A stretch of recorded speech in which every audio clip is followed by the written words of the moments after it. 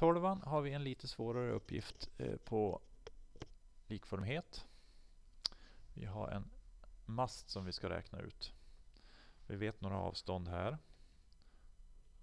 Vi vet inte mastens längd. Det ska vi ta reda på. Vi vet avståndet här nere vid basen, 450. Och går man upp 80 cm så blir det 420. Eh, vi kan göra på lite olika sätt men jag skulle säga att vi ritar två stycken trianglar. Fantastiskt fina. Som är likformiga. Därför att vi har 90 grader där nere och här uppe har vi en gemensam vinkel på båda. Alltså är de likformiga. Och vad vet vi här för någonting nu? Jo, vi vet att på den stora, det är den här stora triangeln som går så här. Så har vi 4,50 där nere. Och så sen säger vi att det är x, hela den där. Därför att det var ju mastens längd som vi ska lä eh, mastens höjd som vi ska räkna ut. Så då sätter vi x där.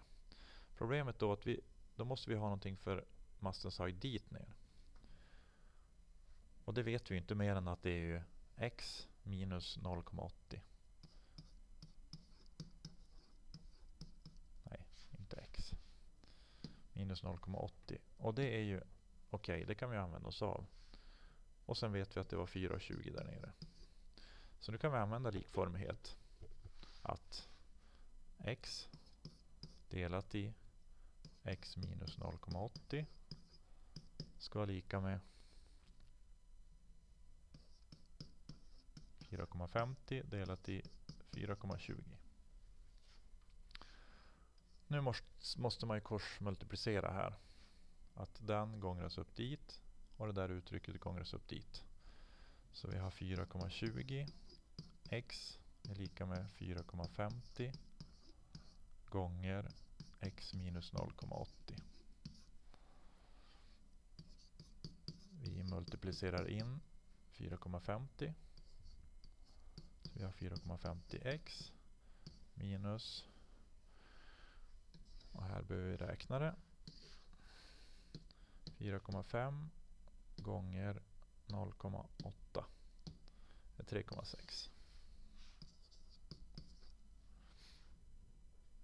Nu vill vi samla x på den sidan. Så vi tar minus 4,20x på båda sidor. Och samtidigt så vill vi inte ha den där då. Så tar vi plus 3,6 på den sidan. Så försvinner de där. Och de där. Så har 3,x 3,6 är lika med 4,50x minus 4,20x. Det är 0,30x. Och för att få x ensamt så måste vi nu dela med 0,30.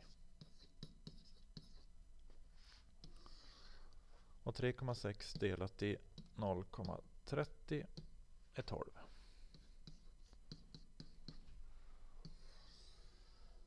Och då har vi alltså räknat ut mastens höjd.